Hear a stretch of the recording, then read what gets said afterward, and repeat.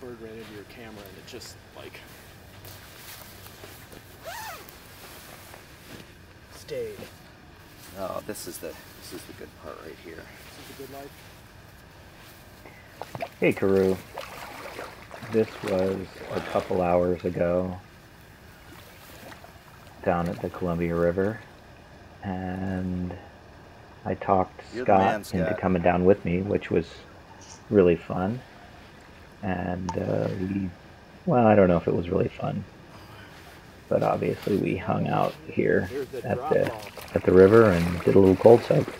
So I figured I'd make a quick video responding to your last video while we talk about this. Um, or not your last video, your email. So you sent me an email and included three things that I should watch. One was the state of Minnesota speech by the governor. The other one was actually uh, an article by somebody, I, Eisenstein, Jeffrey Eisenstein. I can't remember his first name. And the uh, third one was the sci-fi movie of some guy, some Estonian dude from Wisconsin. Um, uh, sci-fi horror, I should say, the Invasion of the Spiders or something. And I actually watched and listened to and read all three of those.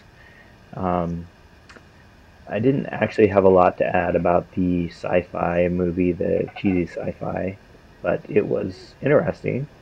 Um, you know, we got the gratuitous flash of breasts and people dying, but uh, I'm curious. Um, I mean, you're more of a connoisseur of that genre than I am. State of Minnesota address. Uh, You know, I, I'm totally disappointed because I feel like what those, what all governors, what all leaders should be saying right now is this is the current state. This is where we are. This is what we see happening. This is what we expect to happen over the next two weeks or month. This is our time frame. This is how we're going to respond to what happens. And you can expect things to change when we see these changes in the numbers of cases and the numbers of deaths. And this is how we're going to move forward and transition from this total lockdown to a more normal functioning of society again. And I'm not hearing anyone say those things.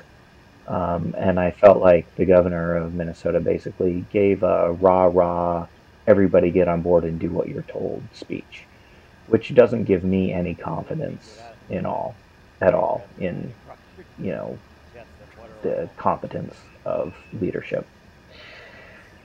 Anyway, and that of course dovetails into the that long article by uh, Eisenstein, and um, it was interesting because I felt like his critique of the current state of the situation and the responses of the government and our willingness to submit to authoritarian type solutions was right on.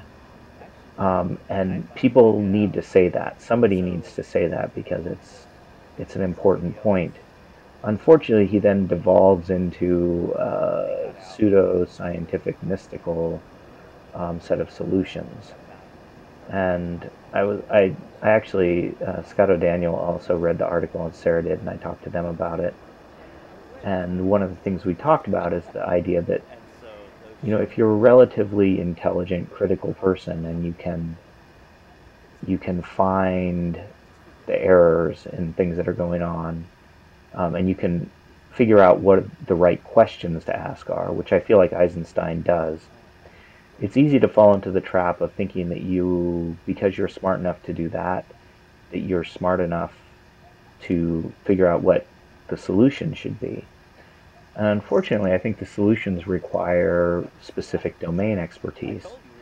That just being smart isn't good enough to offer good solutions because we don't understand. I don't understand, and somebody like Eisenstein doesn't understand um,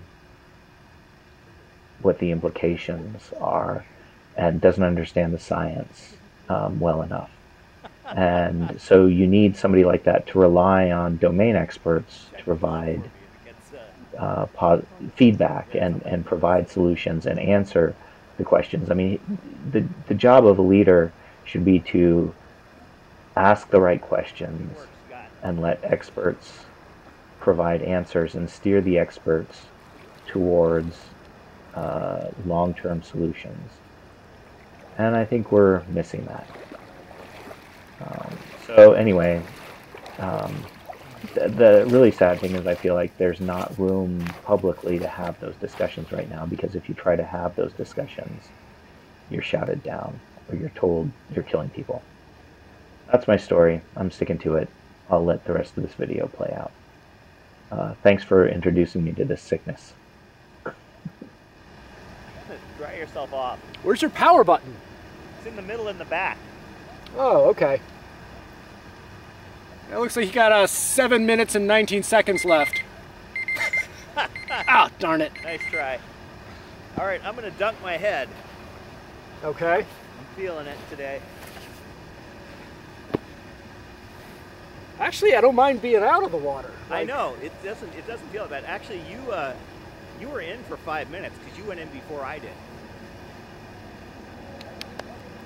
All right, here goes.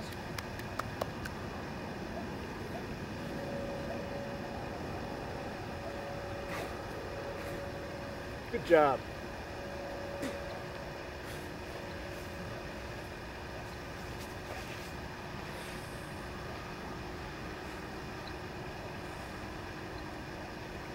There's parts of me I genuinely can't feel. Yeah, I know. I know. You're totally numb.